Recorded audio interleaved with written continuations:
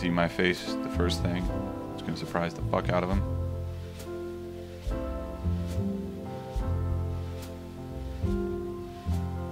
Nice. Alrighty. Looks like we're up and running. Happy April Fool's Day. It is rainy as heck outside, and it's a little distressing because I decided to go to the farmer's market first thing this morning. So it was very, very warm, very, very cold.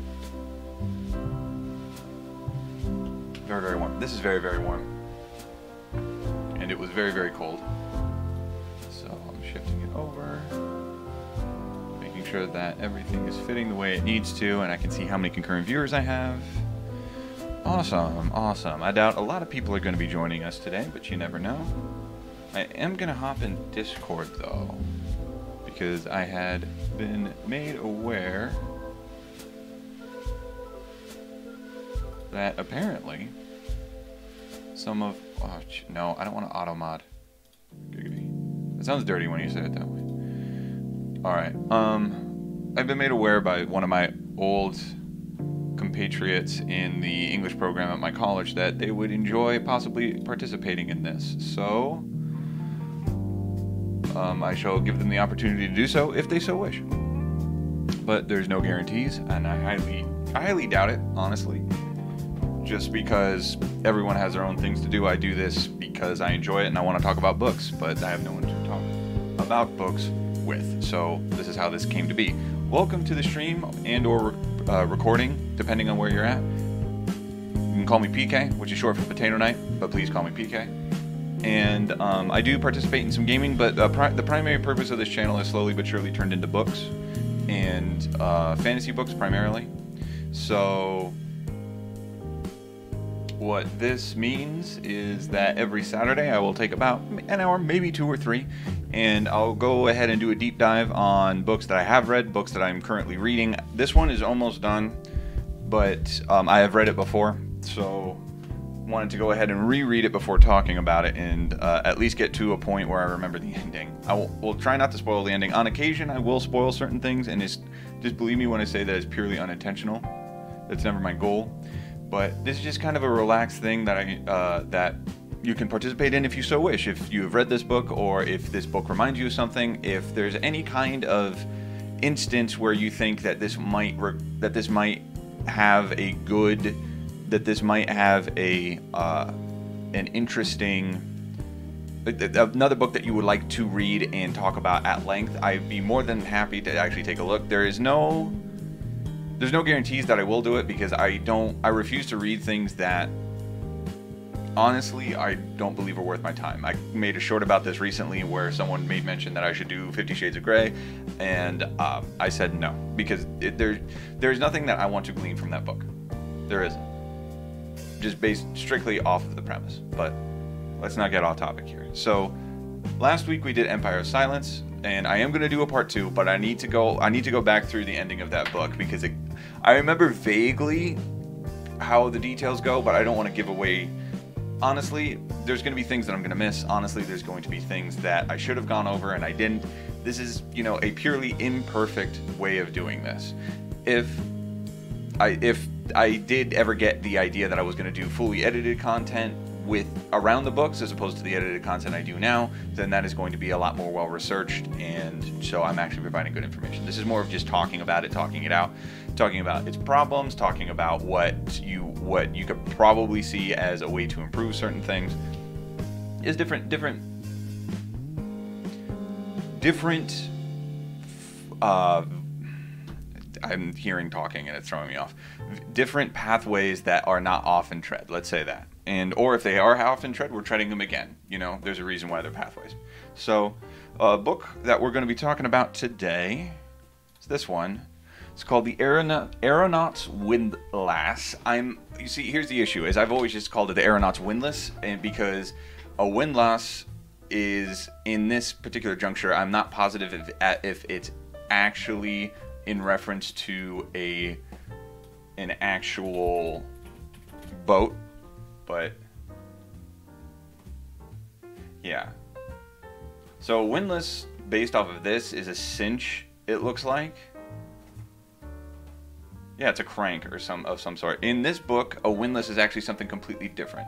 What a windlass is is it is a essentially a barge of some sort. In this, so context to this story. This story is set in a time where the surface of whichever planet that they're on, there is no confirmation that it's Earth or not. There is an assumption though because there is a Christian religion that is fluctuating throughout the uh, throughout the main area of attention and the surface of the planet is uninhabitable. So all of Earth's humans live in these gigantic spires, which essentially are different countries. They all operate with different rulers. They all operate under different types of government. And the main one that you are focusing on in this book is called Albion. Albion is the uh, so that one is actually ruled by a what is called a spire arch or spire arc, and it's been it's kind of classified as one of the most prosperous spires in the series. The way that they indicate prosperity in this, which I actually kind of enjoy because it's it's something that you can kind of extrapolate based off of a overly consumptive society is that it's going to result in things that we acknowledge as common as ending up not so common and becoming very valuable. In this, it's wood. So as an example, a wood door would probably if based off of the context and based off of, they don't actually use real units you, real, real units of currency so you have to just kind of guess based off of that. So if i had a guess it probably a door a wooden door would cost around the same amount as a probably one bedroom apartment you know? So that is one of those that is one of those things that they do indicate and so there's spire albion they make mention of even in the poorest areas they have access to wood to build structures. So the so yeah, Spire is definitely uh, Spire Albion is one of the richer ones. Now this is where things get complicated because this is written from the uh, this is written in a third person omniscient point of view. For those of you who do not know what that means, third person omniscient means that the reader has an outstretched view and understands the things that are going on based off of the fact that you're seeing it from all these different perspectives. You don't know everything that's going on, but you know everything that's going on in your realm, in in your universe essentially. Everything everything that the characters know, you know, but there's a significant number of characters creating a full picture around it.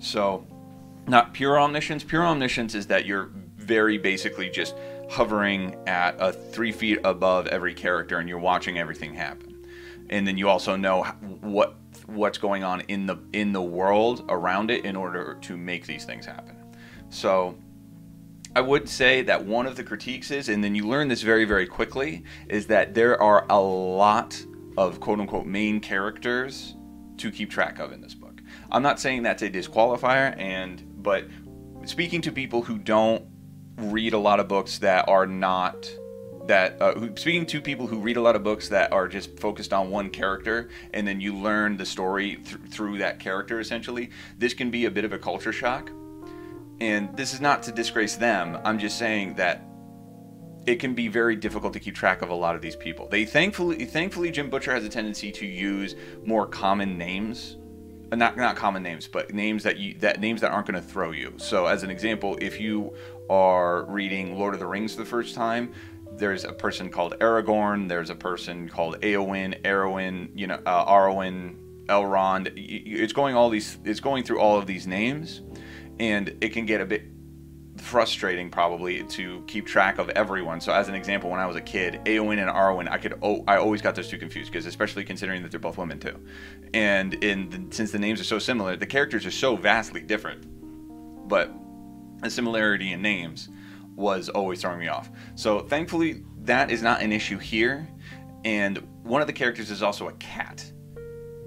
So it's not necessarily an extremely difficult thing. It's not it's not extremely difficult to keep track of, right? In that regard, but what I will say is, on average, I think the most I've ever read from the point like most I've ever had point of view wise in a book is probably three, and that's three characters, all of whom are essentially in the same space. So you're not keeping track of you're not you're not trying to keep track of multiple different people with multiple different motivations all in different locations. That's where things start to get a bit complex and a bit fuzzy. So in this uh, hold on i have to go all the way through it. So gwen uh, bridget grimm Rowl,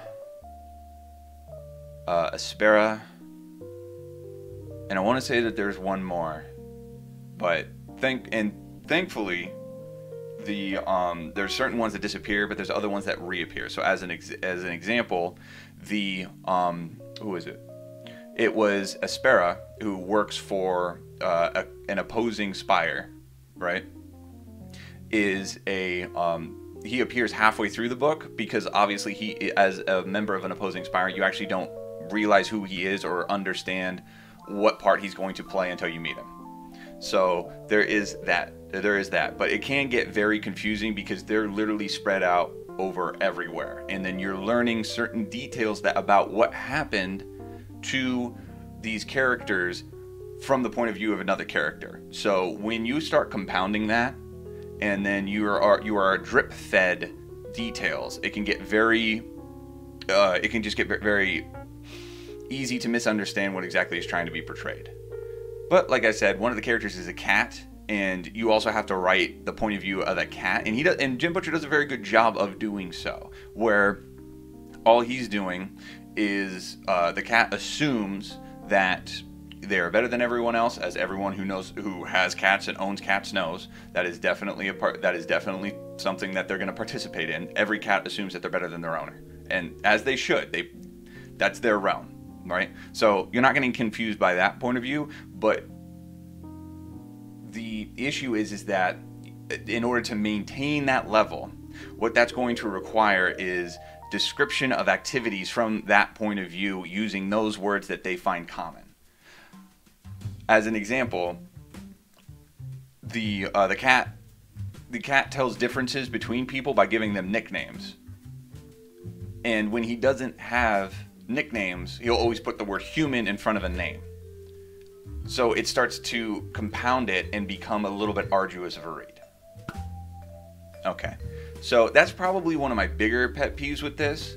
There's it, it, it, the pet pe- the issues that I have with it are broken into two, but I'm going to actually start with so let's go. Let's go ahead and go for the second one, and then I'm going to go deeper into this at, later when we're actually going through the story. So the second issue that I have with this is any time you can you can have a purpose for someone being quirky or acting in a certain way or behaving a certain way, and and it can be intriguing and fun. But there is a there is a part of this book that seems very uh, quirk for the sake of quirk right?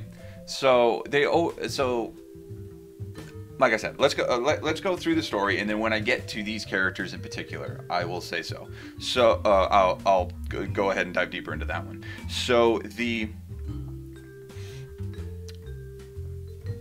the beginning part of this book, you actually are following a captain of who I'm assuming the artist was trying to capture on here on the front. His name is Captain. Uh, his name is Captain Grimm Francis Madison uh, Hawthorne Grimm, or it's Francis, Francis Madison Grimm at least, and he is a privateer, and he is currently in pursuit of a merchant vessel in order to take it down for the spire that he currently works for, which is Spire Albion. Spire Albion is uh, so he it, they make mention at the very early parts of it where they are going where someone asks him oh well this is not exactly fleet and he makes mention that he got drummed out of the fleet so very minimal details given at the very beginning.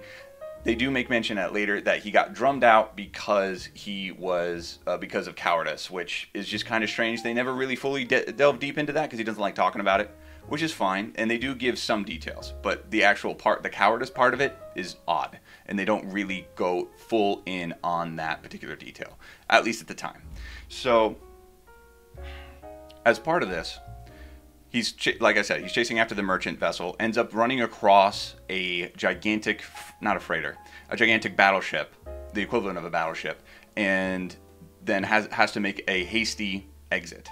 As part of the hasty exit, he ends up damaging his ship rather badly, and then he takes it all the way back to his home base, and then uh, and then this is when things start, like I said beforehand, things start to get a little bit more complex and start weaving in and out of certain things, weaving in and out of certain details. So first and foremost, this flips to Gwen, another character, Gwendolyn Lancaster, upper level, uh, upper level member of the, sorry, upper level of the nobles.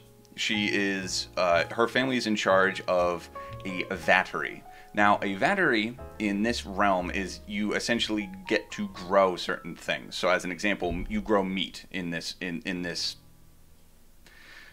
universe. I need to fi- figure out a consistent way of saying it. In this universe, you can grow meat. You grow, and the one thing that the Lancasters grow, which makes them such a powerful family, is they grow power crystals. The ability to actually harness energy and then use it to elevate ships, use it to actually produce lights and energy of and, and, of that nature and especially considering that wood is so expensive you definitely don't want to use too in this realm you definitely don't want to use too much wood to burn fire right so you have to come up with a different way to do so a different way to light everything i'm so sorry i saw how many people were here and i started freaking out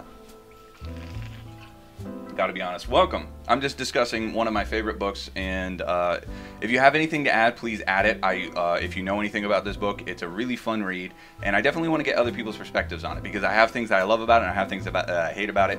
And the one thing that I definitely love about it, before I delve deeper into the story, is that the aesthetic. I love the steampunk aesthetic. It's one of my favorites. I love airships. I love any kind of uh, I love any kind of usage of Tesla coils, copper, any anything anything of that nature. And this uses that aesthetic to their advantage so much that it's it's very easy to delve into and start ignoring the details that can kind of hurt the book. So, like I said, I was talking about Gwendolyn Lancaster. Gwendolyn Lancaster, their family is in charge of the vattery that grows these power crystals that allows these ships to make these long journeys and allows electricity to be used throughout these spires. And so, as a result, they are very expensive, and as a result of that, they became very wealthy. So, she acts as a normal noble woman would act, but the one thing that they definitely do as part of this is anyone who is part of a family that is of noble background, those people need to join the guards. And she is set to join the guards, even though she doesn't have to, and everyone always says that it's an outdated tradition. She wants to, so points in her court. But of course, as part of that, she becomes not not as part of her joining, but as part of her being a noble, she becomes kind of an aggravating character because she kind of needs to be. She needs to be a brat that gets kind of put in her place in a way. So pretty standard uh, character character trait track, if you can bear with me there, where it ends with her essentially fully understanding the amount of being uncomfortable, the amount of being put in compromising positions that you're not used to, that her that her being part of the guards is going to do. So, you meet her. She there is a bit of an interesting interaction with her and her mother. That's the, this is actually at the very very beginning, and uh, she ends up making quite the exit from her uh, from her family's house in order to make it to being one of the guards. Alongside of this, we end up finding, like I said, there's a lot of characters. Alongside of this, you end up meeting another one of the main characters. Her name is Bridget. Oh, sorry. Bridget Tagwynn. Tagwim or Tagwynn. I can't remember if it's an M or an N. And what that what she is also a member of one of these families, but like normal and average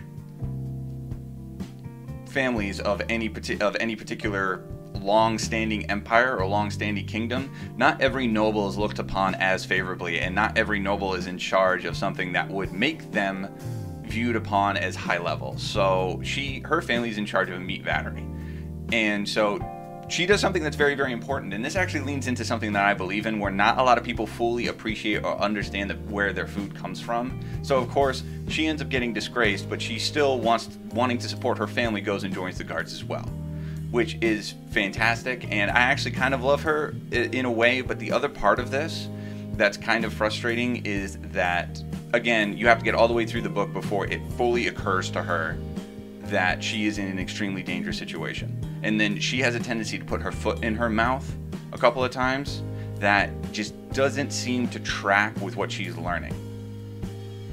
So, you would, again, at the very beginning of a book, And, and I get that he wants to extend this out into a series. As far as I'm aware, I, I haven't heard hide nor hair of the, when the next Cinder Spires book is supposed to come out. I haven't really been keeping track of it, or if, if it's even out. Let me look. Upcoming works. Here we go. So the next book, yeah, the uh, it says the Cinder Spires number two is on is currently being written by Jim Butcher, but he there is no plans on when an actual release date is. So I'm hoping that he kind of delves a little bit further into Bridget's character because she gets put in the most precarious positions where you would have to grow or die super quickly.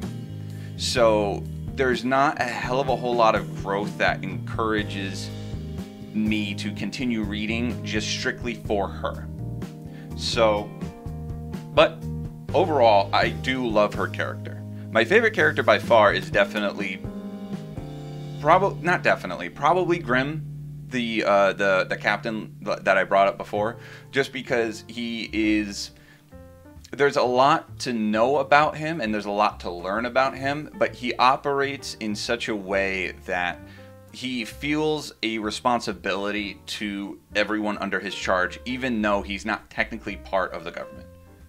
There, there, um, he, as in as in his training sticks around for such a long time that even when he's just a privateer, it and which technically to every other spire is a pirate, that he still maintains this level of I don't want to destroy anyone who's not a combatant.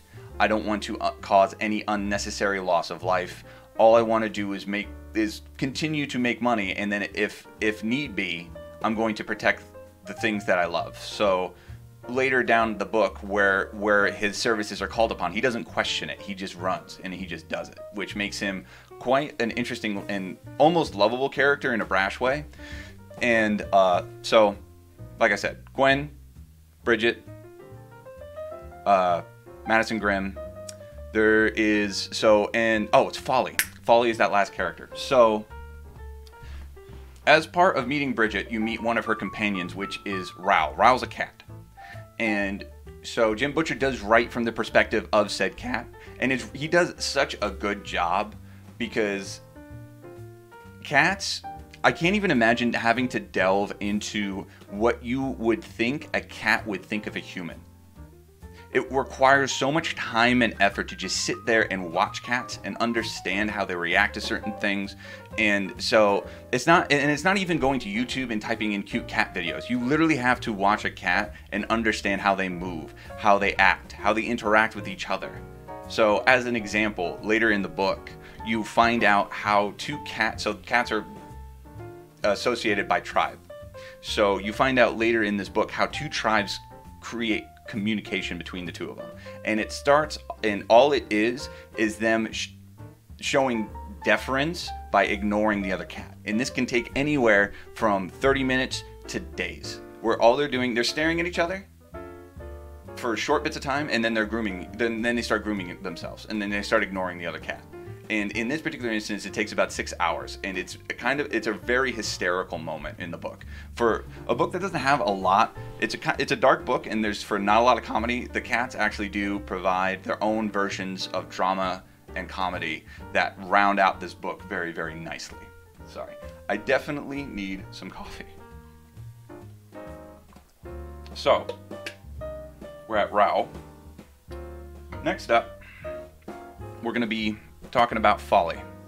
And this ties back into making a quirky character being deliberately quirky. quirky for the sake of quirk should not be used all that often. What what is a good indication? What is a good way to describe this? So, hmm a good a good example of this where it's just quirky for the sake of quirk and i'm not saying that i despise this movie but there is definitely one of those moments where you have to question the logic behind it which would be Harley Quinn in the first version of the suicide squad which is well i'm insane therefore i'm going to do certain things that don't make sense in any form or regard and but I'm a badass at the same time, and it just none of it actually seems to track all the way. And she will say certain things because they're funny, and met and, and even from a meta basis, it's funny, but it doesn't make sense for the particular instance that they're in. Right? So, folly is these these types of characters. They're called etherealists, which is essentially a wizard. They're, they Jim Butcher managed to make magic without saying the word magic, right? Everyone describes it as magic. It, it, it literally, I believe that at least two of these. Was gonna say at least two at least two of the reviews in and on the book say that oh in this world of machinery and magic and then just you have to explain to them no no no no it's not magic you know what this is believe it or not is literally just using the currents that are around people so everyone knows that electricity kind of gives off its own currents every and what an etherealist will do is essentially grasp those particular currents and then use them to their own devices. So it's really, really cool. It's an intriguing idea, and I love it. But you, of course, can't have that level of power without having a downside. Now, the downside is, and again, this becomes almost.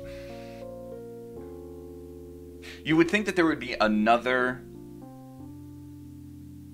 aspect that you would explore as part of this. Hold on, I have to double check something. What the hell? That was weird. So, you would think that there would be have to be another aspect to explore as part of this, and that would be that makes zero sense. I don't know why I was doing that. Uh, YouTube was giving me false information. So, is that uh, using using madness or using insanity as a downside to a power is not the greatest is is not the greatest use of your of the reader's time in my opinion because madness madness or insanity can be construed as so many things in life that just saying well if he uses this power too much he goes insane then all you're going to end up doing is you're going to end up providing loose cannons that no one can fully rely on. That you that is just always going to end up you're you always have that fear that they're going to betray you.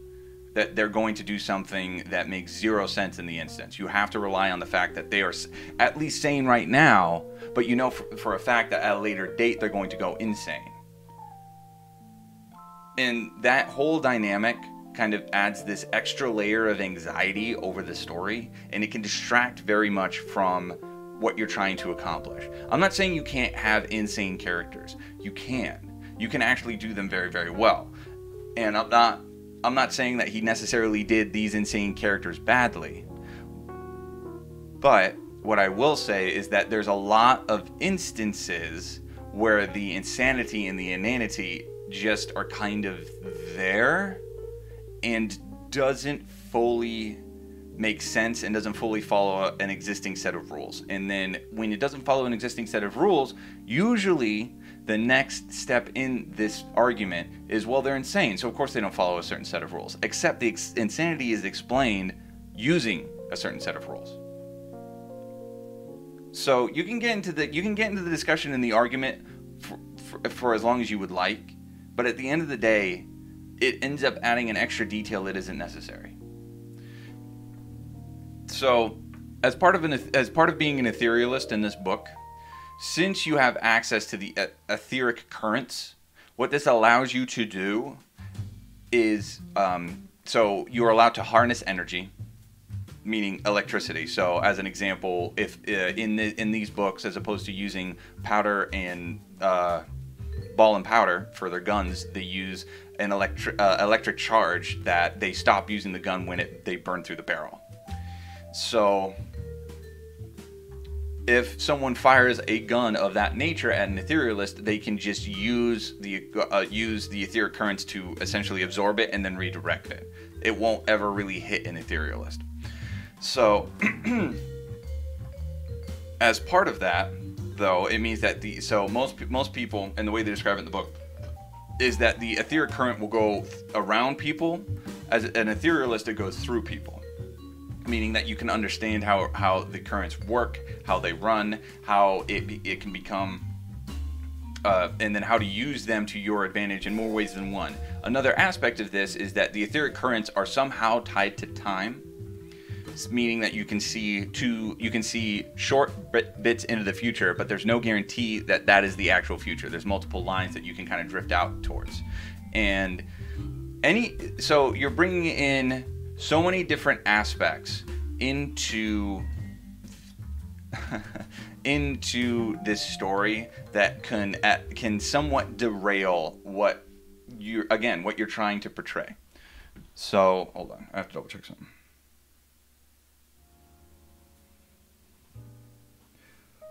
Sorry, I am double checking and triple checking everything, making sure that my stream is actually going according to plan.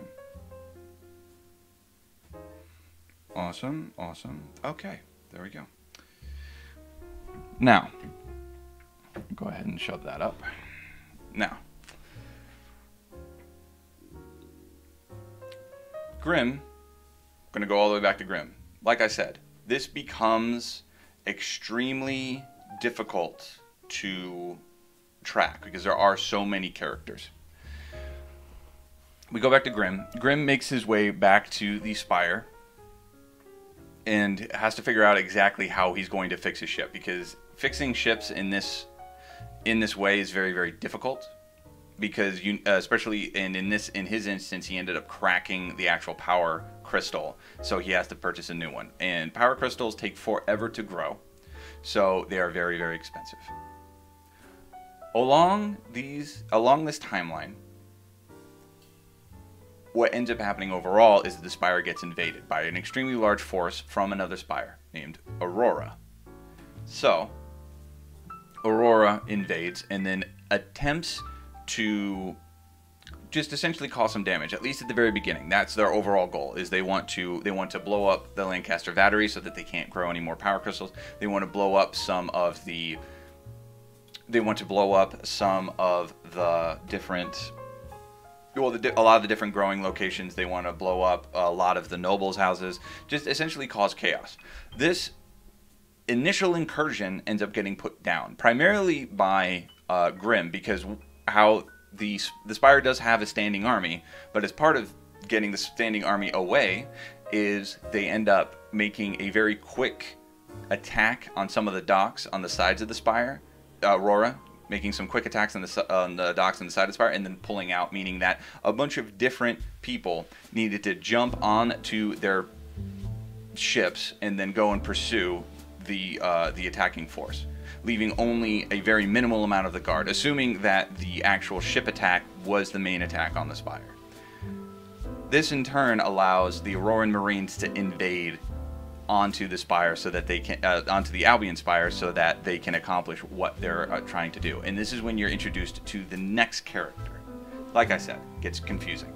His name is Aspera, and he is an Auroran Marine.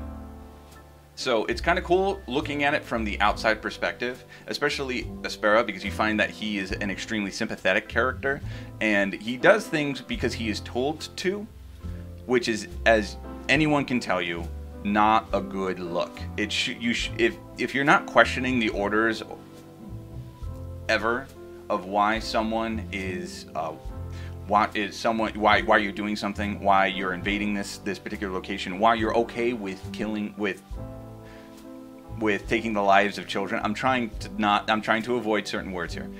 In, in taking the lives of certain children just to accomplish just to accomplish an aim, then you're more than likely not a moralistic human being. But again, this fall it, they don't really discuss the actual where the morals are derived from. They talk about Christianity. They just call it the religion of the Lord God Almighty, which is indicative of Christianity. And they also talk about certain types of other religions. So there's something called the Way, which is very indicative of almost Buddhism, you know, in certain regards. But so you, yeah, you follow Aspera, and Aspera is um, you find out what their overall goal is in the uh, in at, near the end of the book. But you get to go with him along this journey, and as part of this, you meet the quote unquote uh, enemy etherealist. So we're going to talk about Etherealists a little bit more. Because, like I said, there is, a, there is a set of rules, but within those rules, there is a significant freedom that the author tries to pursue. So, as part of the insanity for each one of these etherealists, there is something that you would qualify as a singular quirk that if they can't, if these particular items or measures are not kept, then they are going to break down and be completely useless to the people that they're around. Making, again, leading back into the loose cannon thing I said earlier. So, one of the characters, Folly, as an example, she has trouble directly addressing people. But she also carries around two jars of something called lumen crystals. Now, lumen crystals are essentially very, very small versions of the power crystals that all they produce is light. And she considers them to be her friends. She actually refers to them as her friends. And so she can't directly talk to someone, but she can describe what's going on to the lumen crystals. And then the person who is she is talking to can understand what she's trying to say. So, as an example, she spent a lot of time with Bridget. And then Bridget says something along the lines of, Oh, we can cross this bridge. And I'm being very general here because it gets deep into the weeds once you actually start reading into it. And then as opposed to saying as opposed to Folly saying to her, "Oh no, look, the bridge is starting to fall apart. We can't cross the bridge." She'll she'll look at her lumen crystals and say she'll say, "Oh, Bridget doesn't realize that the that the bridge is starting to break and we're going to have to cross in a different spot. A remarkable, almost barrier that, that Jim Butcher deliberately put up on himself that would make writing this amazingly frustrating because you would have to go back and make sure that this follows the tra- that this still follows the traditional line of dialogue because you can't ju- you can't just have someone saying something that's com- it's not like a movie where someone can say something that's completely insane and then you can derive from context. This you need to actually have a way for the person to fully understand what the other person is saying while being indicative of insanity. So, props to him for I would almost call this a mind exercise. It would drive me up a wall. I would not be able to do it. It would just make me so mad having to deal with it. What this also means is that it can it really frustrated me as a reader because she breaks the rule for very specific parties, specifically other etherealists. She breaks this rule for, meaning that there are certain things that this particular insane person will break their rules for under this correct set of circumstances, meaning that they're not truly insane. Honestly, they're not truly insane, but they are insane, and it just becomes almost it, it's it's mind-boggling. And again, props to Butcher because me as a writer, I highly doubt that I'd be able to actually fully delve into this and then understand and then be able to reread it and then pick up the uh, pick up the mistakes that I was doing, right? So there's three etherealists that you know of in these books. You get you get made aware of a fourth one, but he's but he and or she is not there. So you become aware of Folly. You get you become aware of uh, Ferus, who is the Spire Albion's quote unquote master etherealist. I keep saying quote unquote because these words technically really don't exist. He kind of made them up, which is fine because you need to make up words when you're building a building a new world, and you you know you have to fully explain what people are and what people do. So. Uh, Ferus is not nearly as bad as Folly, mind wise, but he has a tendency to not explain things. So he'll just assume that everyone is following his path from point A to point C, but he doesn't realize that there's a point B in between there. So he, the point B is his him ex, eh, him explaining what exactly how he's trying to get there. And when he does is eh, when he does it's even more complicated because you almost get the impression that he doesn't like giving explanations. So you have to give that indicator when he is giving an explanation that he's getting a little frustrated you can see why I'm why this can be almost a turnoff for a lot of average book readers. For me, I enjoy I enjoy the challenge of a lot of books, even though there's been multiple books where I've tried to read them and then I just have to put them down and walk away from them for a while because it just becomes too much.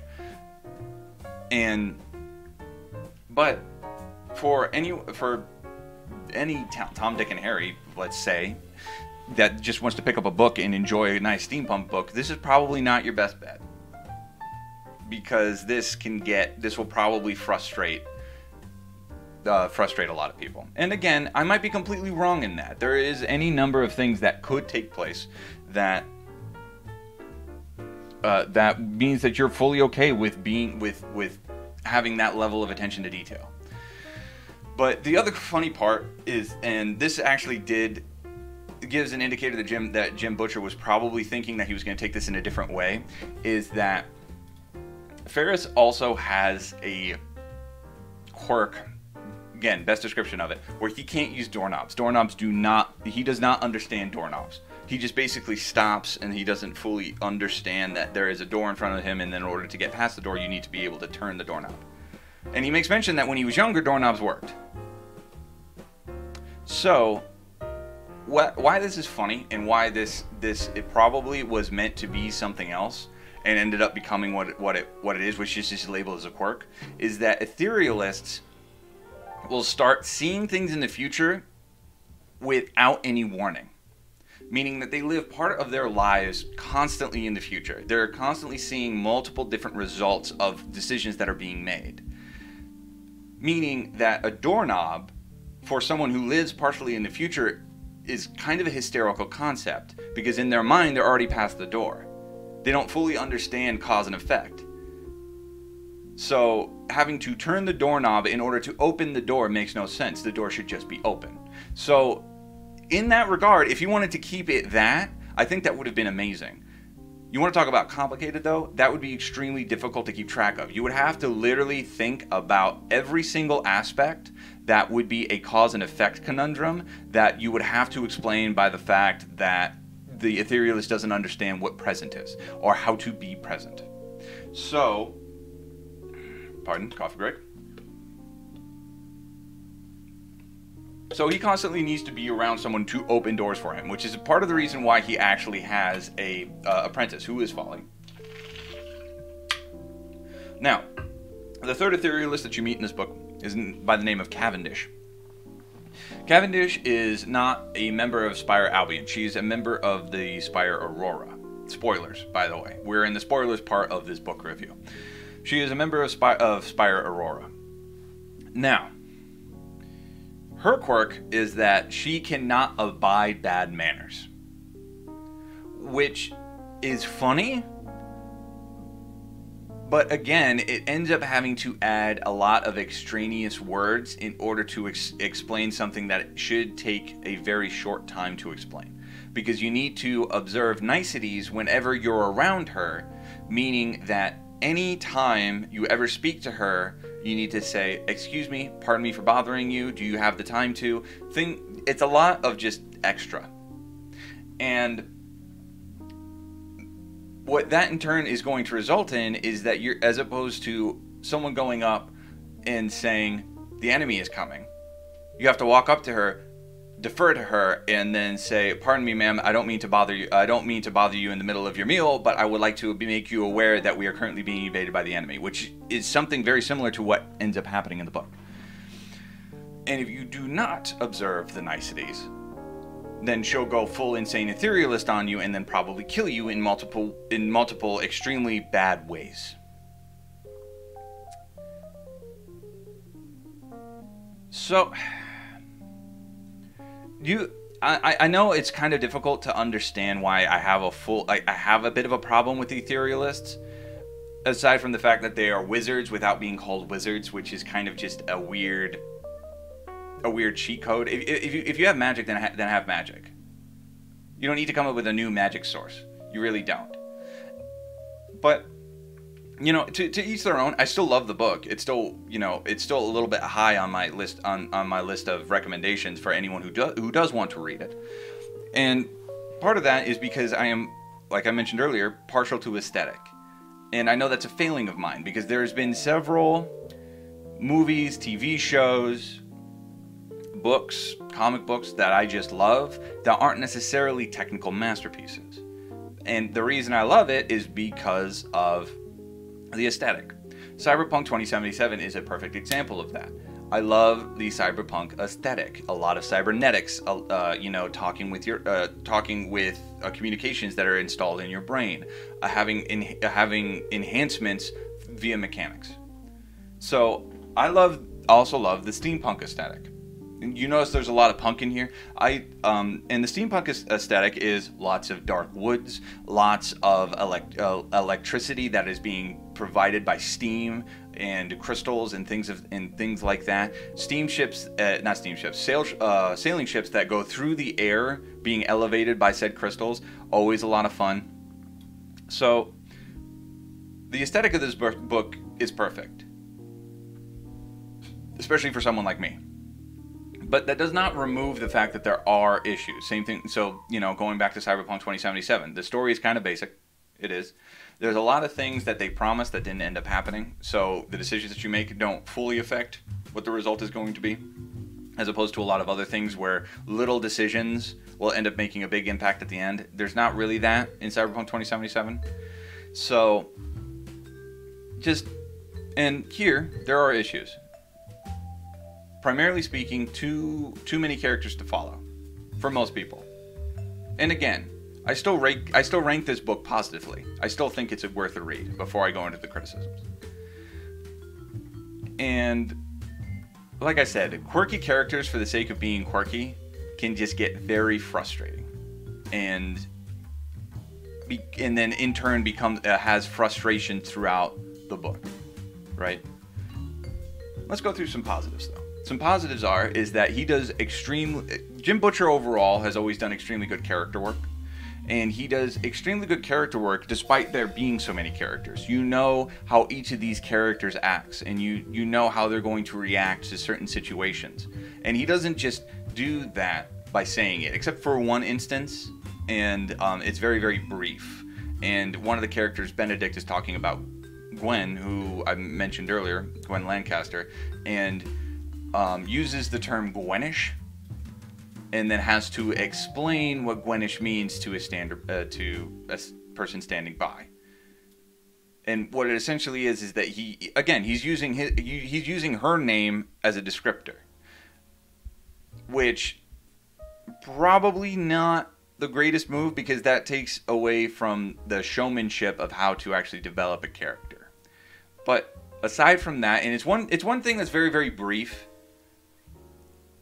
aside from that, all the rest of the characters, you learn th- their characteristics. Sorry for the redundancy. By watching them interact and by watching them do. and watching them just interact with the world.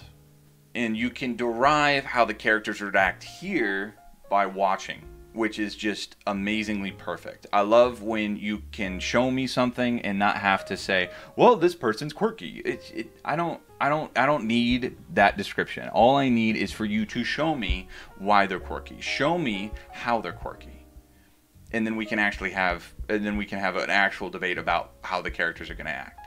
So, he does a very good job in that form. He also does a very good job in not dragging out the description of how the world works. A lot of the time, when you come across books that are trying to establish new worlds, you can really get, speaking from personal experience, you can get really lost in the weeds trying to establish how this world works, which is often a critique of Tolkien, where they're saying that there is a lot of descriptors and there's a lot of how his world works. Difference is is that he when whenever you talk about the first, when it comes to high level fantasy, Tolkien has to be on that list of one of the first people to write it. So when you're when you're trying something that no one has ever done before, then you can allow a little bit of leeway. And there's not a hell of a whole lot of books like this. There are there are steampunk books, but he's establishing a world and not being overly detailed in how the world came to be. He actually doesn't tell you. All he says is that the surface is uninhabitable. And he actually tells you that by talking about the result of an action. Specifically at the very beginning, where Grimm is fighting for the uh, fighting for the merchant vessel near the very very beginning he talks about if the ship, his ship should be shot down, he would go to the surface, which is uninhabitable. And he talks about why it's uninhabitable. He didn't just start at the very beginning and then give a long description of how the world works, which is awesome. and it's difficult to do. So, definitely a pro. Defi- definitely a good, a little little uh, ding in the pro column for that, because for any book, you want to under you want to understand to be immersed in the world, but you also don't want to just be told, well, this is how this works, this is how this works, this is how this works. You want to watch it in action. So, there's that. There is also a really good amount of political intrigue intermingled with the action. I know that sounds weird, and I've only ever read maybe one of the books that does it very well, and it uh, it's a book about it's a, a book essentially if the Civil War was fought with magic, and it can it can it can be a little confusing when done by someone who doesn't understand how that how that life works. Because what you what you end up doing is you end up focusing too much on the politics and not enough on the action or vice versa. But when you can perfectly blend it together and then the action fights alongside of the political intrigue, then it's good. And it's not like oh my gosh, these people are here so that they can overturn. It's like, you know, it's not them being said, it's what the actions are, which leads you to the conclusion of what they're trying to do. So, props to Jim Butcher on that one as well. Finally, what I will also say is that it's actually a, I know this seems like a like a donkey chunk a donkey chunker, a donkey choker, but for what it is, it's actually not all that long, and it, it's it, it's an easier read. There's not there's not a heck of a whole lot of understanding of different vocab words that you've just completely passed over when you were when you were in elementary school that you kind of have to go back and look at. And there's not a glossary at the end explaining uh, explaining everything. He does a very good job at making this digestible to people. So I I appreciate that, especially when you're trying something new that no one else has really done before. At least none that I've found that have done it well. So it allows me to actually enjoy the book and not have to go back and forth and try to figure out what exactly this is, why it's this way, and because I've, I've run across books like that where you have this enormous glossary at the back and you have to go look at the back or else you have zero idea of what's going on. Essentially, the novel version of Warhammer because anyone who says that they understand all of Warhammer, I don't believe you. Just, I mean, off the top of your head. You can easily read it in the book and then understand it and then comprehend it. But by that same token, I don't fully understand every aspect of D&D. I know a lot about it, but I couldn't just off the top of my head tell you the dynamics or how things work. It just wouldn't work that way. So, all right. There's that. There's that. Final, final thing that I would like to say about it is that comprehensively, it's it's dark. So in in steampunk, there is there can be a little bit of an issue of auth, uh, authors leaning into the ridiculousness of the world that they've created.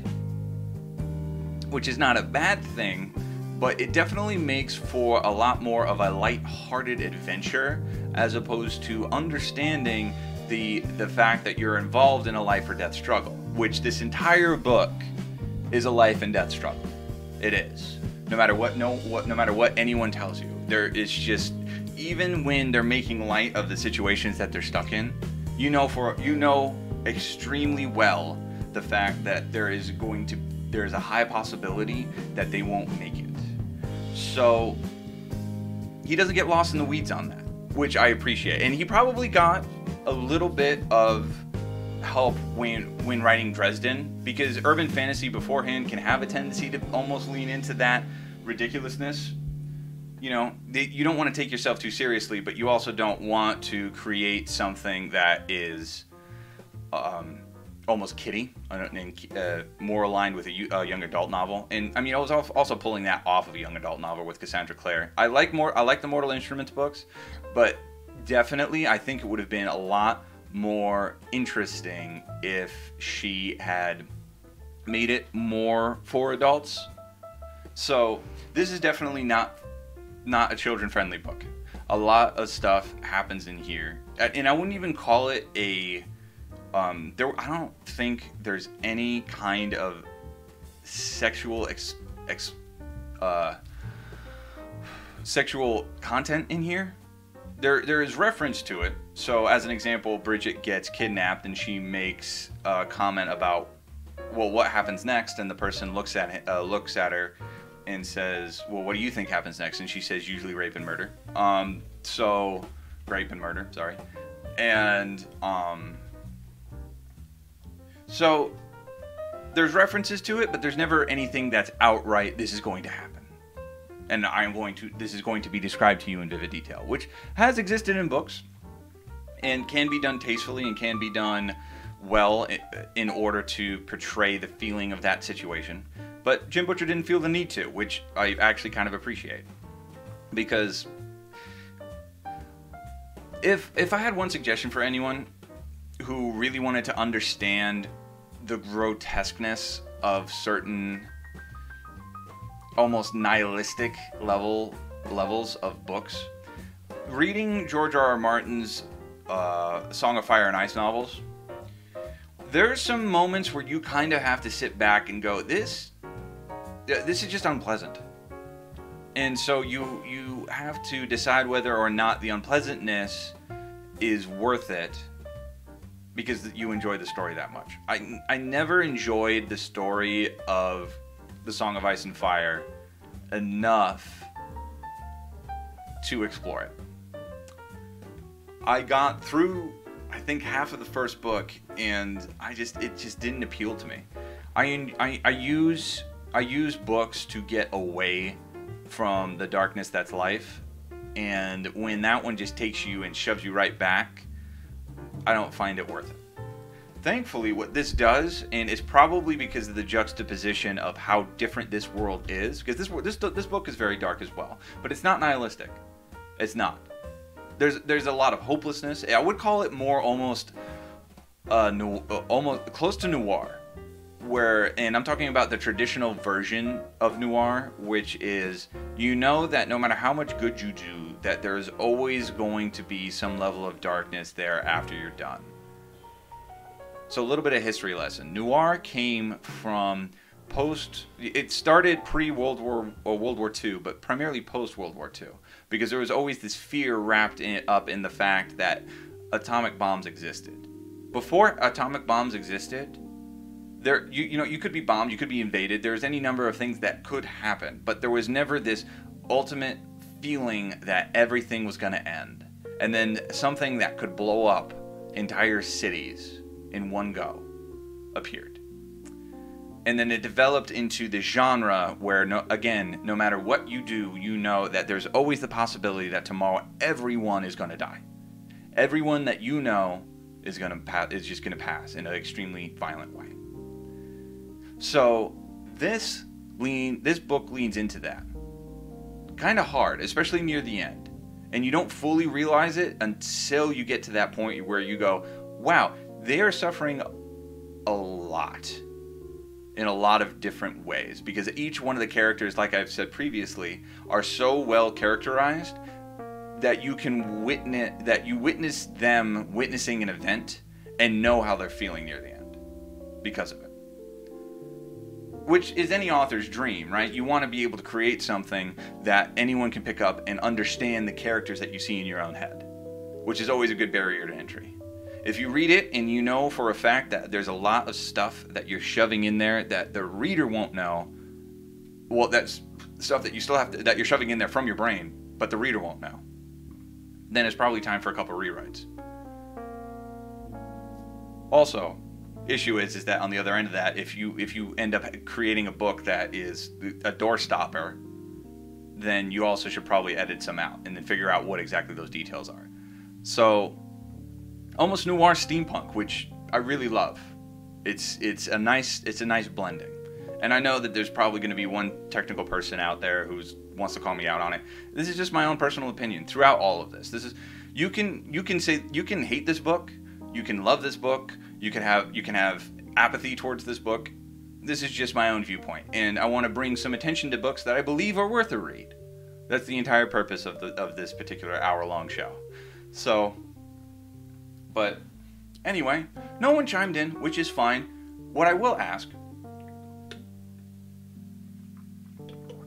is that um, this is going uh, this stream is going to get unlisted and then it's going to be recorded and then the recording of it is going to go up on the channel so if you have something to say i would really appreciate it if you would actually comment down below on that video and then you and i or whomever can actually have a discussion about the book you can even have a discussion about how you think i missed so much of the book because this is this is only an hour long i don't want to completely bore people i want people to have a basic grasp of how the book works and the characters in the book so that you would decide whether or not you think it's worth your time.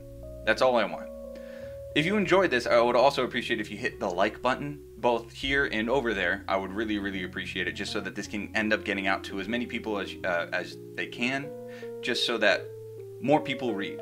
I want everyone to read. I, I, it's it's call it a life's goal. I want everyone to be able to pick up any book, read it, and then comprehend it.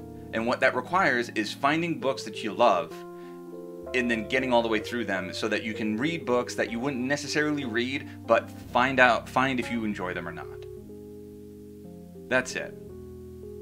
So, I would really appreciate it. Also, if you really enjoyed this, I would really appreciate if you hit the subscribe button, the follow button, where the, wherever this ends up, so that so that you never actually miss when I do this again. I'm going to be doing this again next Saturday. I really hope to see uh, see any anyone who joined there at that time as well. I'm probably going to do the second half of Empire of Silence, and but until that time, thank you everyone for who came in and who showed a little bit of love. I I fully appreciate it, and um, but I I love all of you. Be sure I'm not the only one who tells you that. I hope you have yourself a great rest of your weekend. Okay.